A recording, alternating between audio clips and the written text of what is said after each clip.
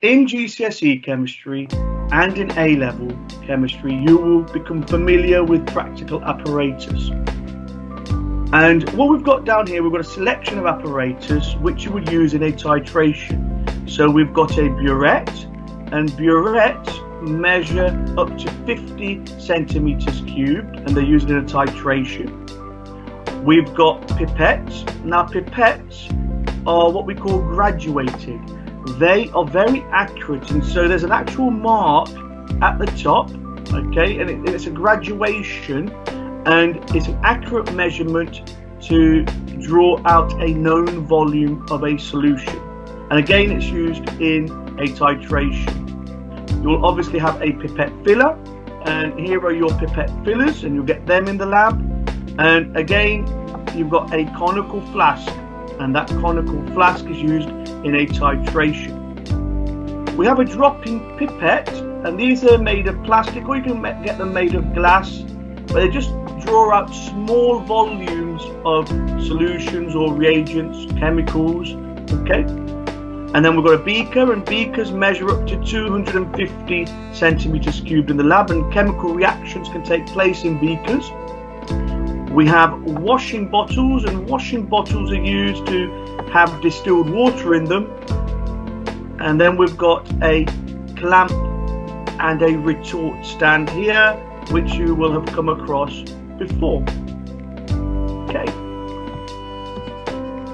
What we've got down here is what you should be familiar with already. You may have seen a gauze, and here's your gauze.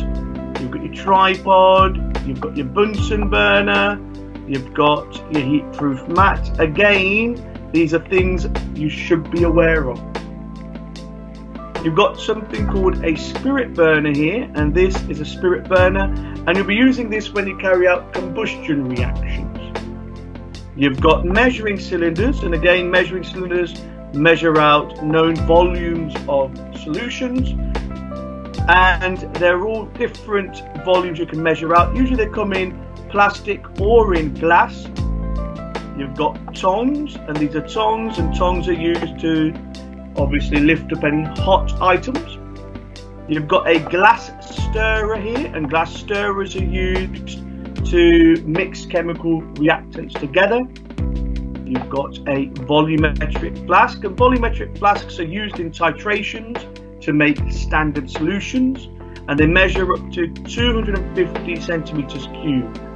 Again, there is a graduation mark, so you'll know that when you actually fill the volumetric flask up, you go to a certain mark, which is up to 250 centimeters cubed, a very accurate measurement. It is graduated. And then you have what we call a watch glass down here. And this watch glass is used for when you're drying out solids and crystals.